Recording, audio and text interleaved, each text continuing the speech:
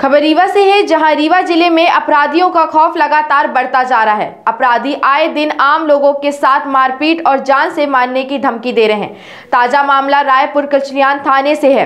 पहाड़िया गाँव के पंच जन प्रतिनिधि पुष्पेन द्विवेदी पर जानलेवा हमला हुआ है। दीपक तिवारी उर्फ़ चिंटू ने अपने सात आठ साथियों के साथ लाठी डंडों पर सब्बर से वार्ड पंच पर हमला किया है। साथ ही कनपट्टी में बंदूक रख कर जान से मारने की धमकी भी दी है। जनप्रतिनिधि पुष्पेन द्विवेदी के शरीर पर निशान देखकर समझा जा सकता है कि अपराधी किस तरह से दहशत फैला रहे हैं। चिंटू तिवारी आए दिन गाँव और आसपास के लोगों से मारपीट करता है। कट्टे के साथ उसकी तस्वीर भी सामने आई है, जिसके बल पर लोगों को डराने और लूटपाट का काम करता है। शराब नशा और अवैध हथियारों से दीपक उर्फ़ चिंटू तिवारी गाँव और आसपास के लोगों को परेशान करने के साथ ही पुलिस प्रशासन को भी चुनौती दे रहा है। मामले में एफआईआर रायपुर थाने में दर्ज की गई है। कुमार द्विवेदी, ग्राम पहाड़िया, तीन सौ पैंसठ, थाना रायपुर करचुलियान का मूल निवासी हूँ।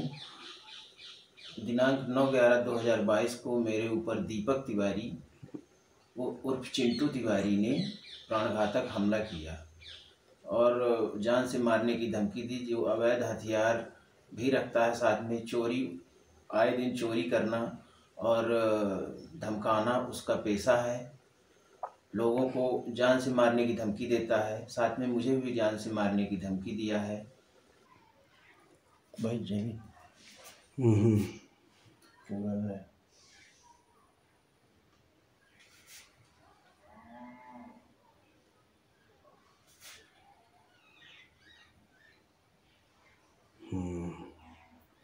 या पीछे घूम।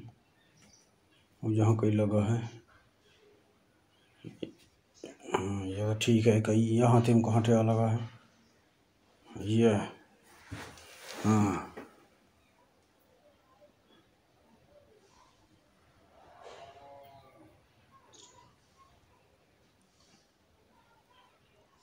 यह है वो ये नहीं बता उतारे जान के हम पैर के। हाँ ये तमाम।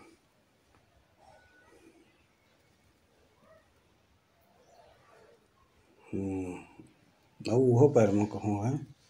हड्डी निकले हड्डी ये।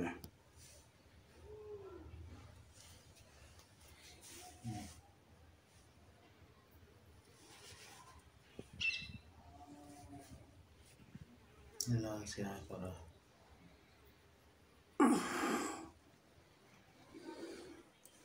यहाँ के ले। लिया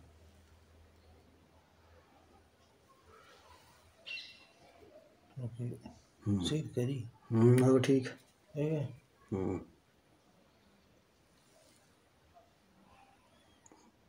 हम्म।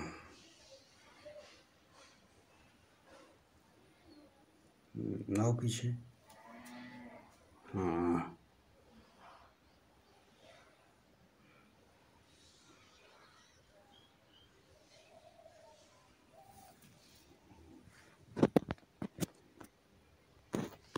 कमर का भी है एक उठो एक उठो